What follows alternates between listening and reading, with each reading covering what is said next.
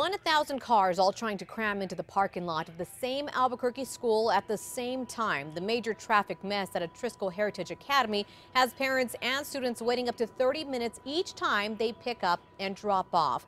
They're now demanding answers from the district and local leaders. Here's News 13's Cole Miller. The bells here have rang for the day and the cars have come and gone. But come early morning and afternoon, a lot of people say this is a disaster for drivers.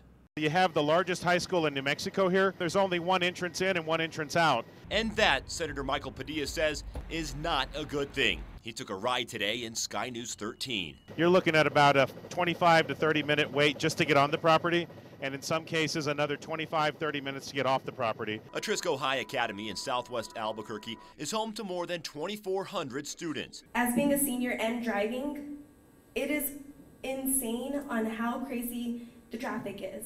That, coupled with a faculty of more than 250, and you get at least 1,000 cars coming and going in the morning and afternoon. It's a bit of a mess. Parents, students, uh, they, they're coming up to me asking me, what can we do about this? How can we help?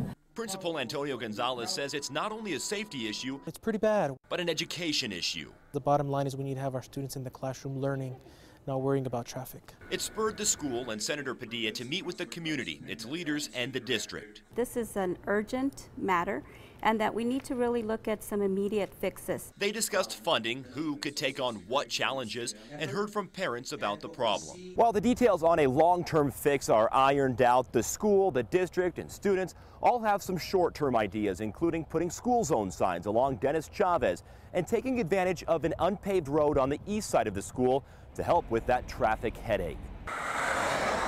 Right now, there are no signs and cars park along that busy road. I'm concerned also for my daughter and all the other kids. One idea to ease congestion, turn this dirt road into a second exit. The city says it would cost at least a million dollars to pave the road, but APS Board President Analee Maestas suggested doing the bare minimum to make the road drivable now. But regardless of what happens, Gonzalez says traffic will be a part of life here. We do recognize that there is an inconvenience.